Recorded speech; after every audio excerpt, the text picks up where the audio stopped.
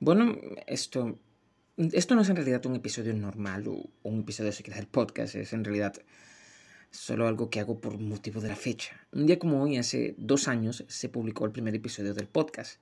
En aquel momento no se veía mucho sobre podcasting ni nada, aunque hace unos dos años había trabajado en radio, pero nada formal realmente, nada serio, en el sentido de, de nada profesional.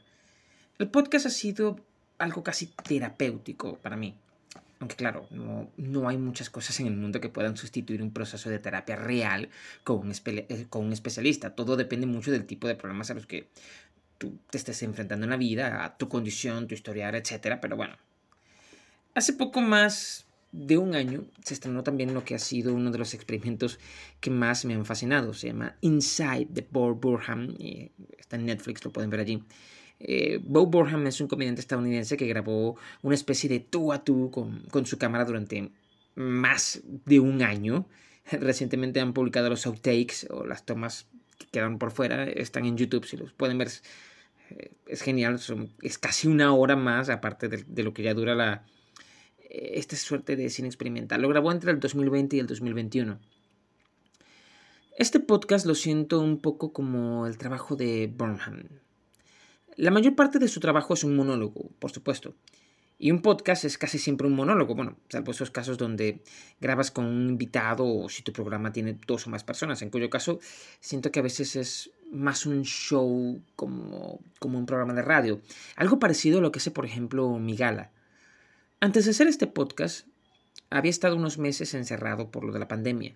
Aunque claro, aquí en Latinoamérica lo del encierro, la cuarentena fue algo más nominal que real, ¿saben?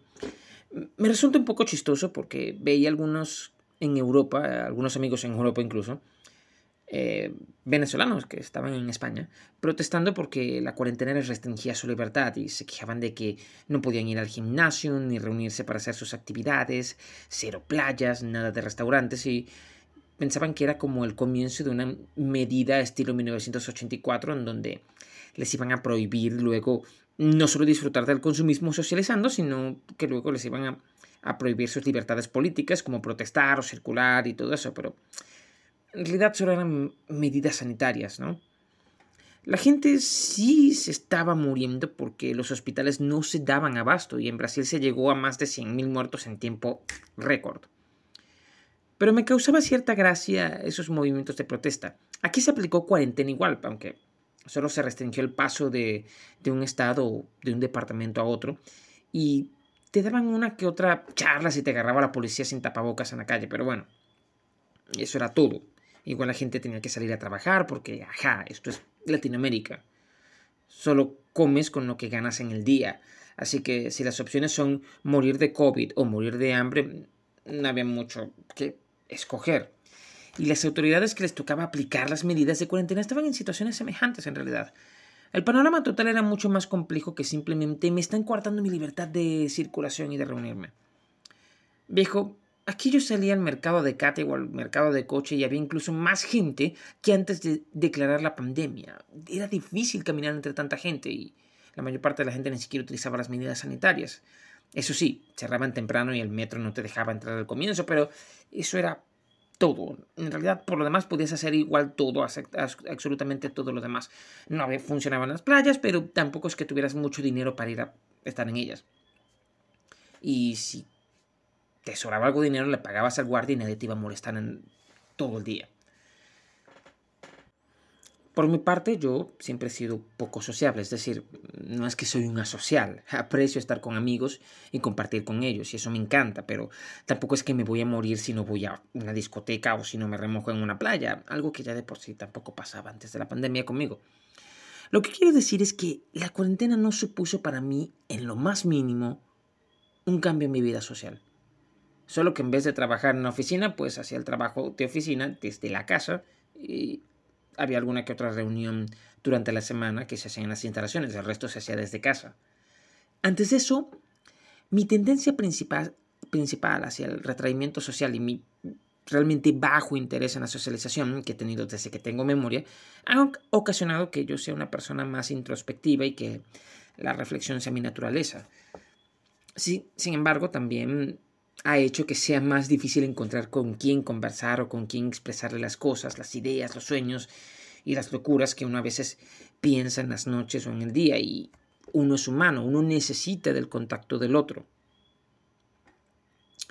Cuando uno tiene 20 años eso no representa un problema. De vez en cuando uno sale y visita a los amigos, te vas de salida, de fiesta, les invitas una cerveza y empiezas a conversar y una vez a la semana te tomas unos tragos o un café y conversas y conversas y estableces ese lazo de retroalimentación con tus amigos.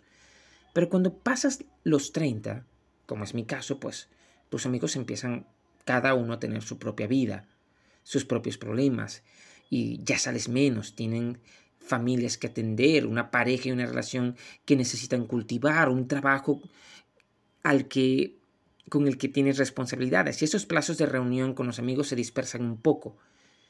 Además, si eres un millennial con treinta y tantos y tienes la particularidad de que eres venezolano, es probable que un porcentaje significativo de tus amistades se encuentren ya fuera del país, en México, en Chile, en Argentina, en España o en Perú, en donde parece que está la mitad de Venezuela en estos momentos, según cuentan.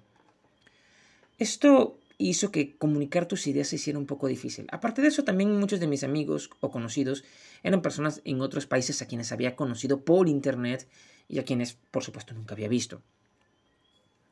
Creo que tener un podcast era algo que tarde o temprano iba a pasar. Es decir, grabarme hablando frente a una cámara es algo para lo que aún no estoy preparado, así que esto era lo más probable que pasaría.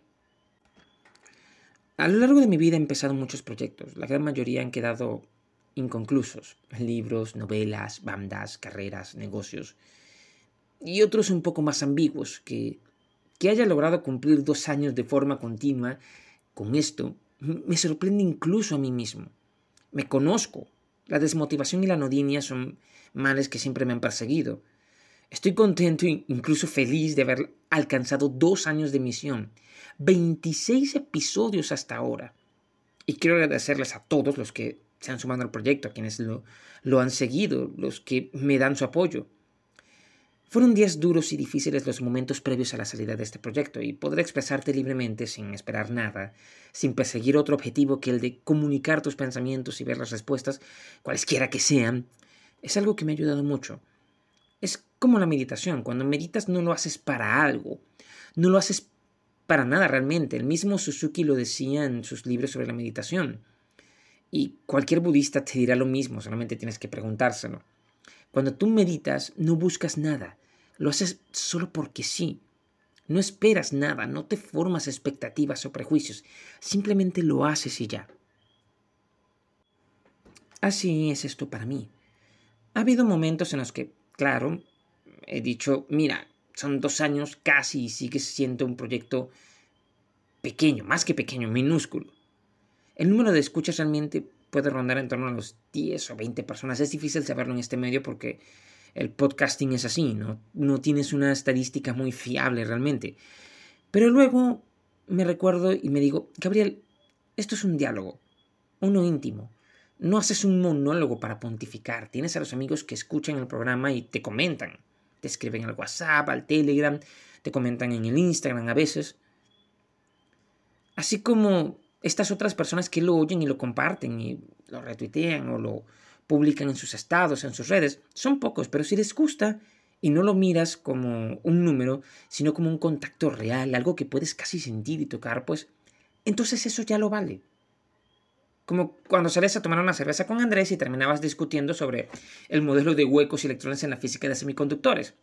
Y bueno, sí, hablamos de cosas como esas cuando bebíamos porque, a los que no lo sepan, estudié ingeniería y fueron seis años enteros en donde desayunaba, almorzaba y cenaba análisis de circuito y cálculo diferencial.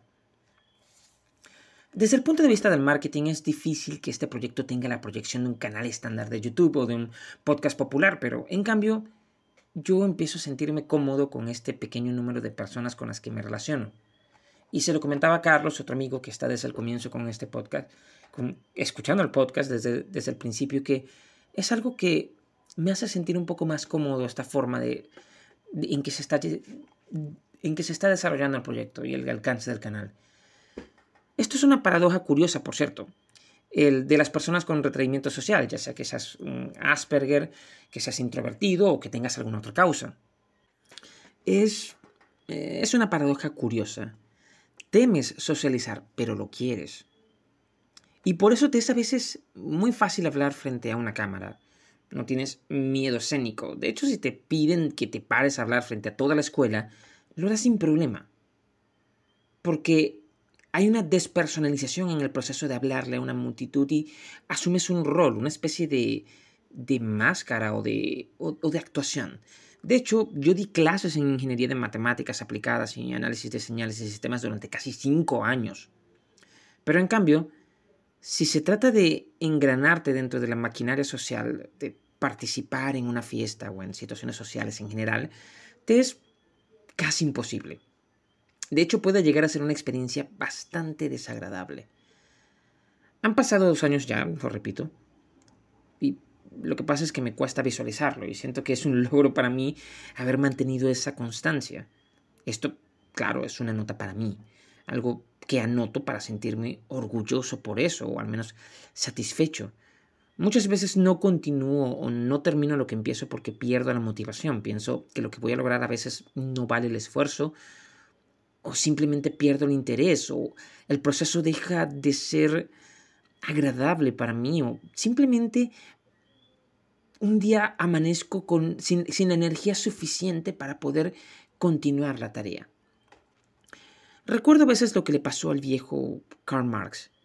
Saben que cuando él empezó a trabajar en su crítica de la economía política duró unos meses yendo al Museo Británico y a la biblioteca que estaba recién inaugurada, eh, allá en Londres, y teniendo un panorama del problema económico de su época, tomó un cuadernito y en las primeras hojas escribió el esquema eh, de su obra. Iba a escribir un sistema filosófico, o sea, era alemán y hegeliano, no, no, no podemos esperar menos.